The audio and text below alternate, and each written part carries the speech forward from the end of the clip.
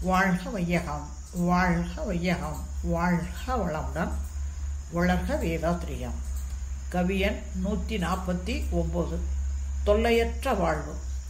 தங்கமது வாழ்விற்கே தகுதியற்றதெனக் கண்டு ஒதுக்கித் தள்ளி அங்கங்கும் குழந்தைகளை அறிஞர்களை வளர்க்கும் முறை அமுல் நடத்தி எங்கெங்கும் கூட்டுறவில் எல்லோரும் தொழில் புரியும் வாய்ப்பு உண்டாக்கி பொங்குவமே புவி முழுதும் பொருள் துறையில் சமத்துவ பூ மலரக் கண்டு ஆதியிலே வாழ்ந்த மக்கள் இயற்கையோடு ஒட்டி வாழ்ந்து வந்தனர். ஆறாவது அறிவின் மலர்ச்சி இயற்கை வளத்தை வாழ்வின் வளமாக மாற்றி அமைத்து பயன்படுத்தி வாழத் தொடங்கினர்.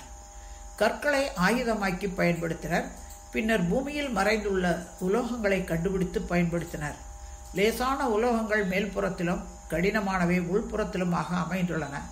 மிகவும் ஆழமான இடத்தில் இருந்த உலோகம் கஷ்டப்பட்டு எடுக்கப்பட்டதால் அதற்கு மதிப்பு அதிகமாக கொடுத்தனர்.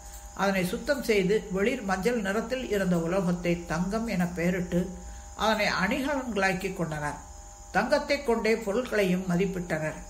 எனவே தங்கத்தை கவர வேண்டும் என்பவர்களை திருடனாக்கியது வைத்திருப்பவர்களை பயங்காளியாக்கியது அப்படி மக்களின் வாழ்வை கெடுக்கும் தங்கத்தை வாழ்க்கைக்கு தகுதியானதல்ல என்று கருதி ஒதுக்கிவிட வேண்டும்.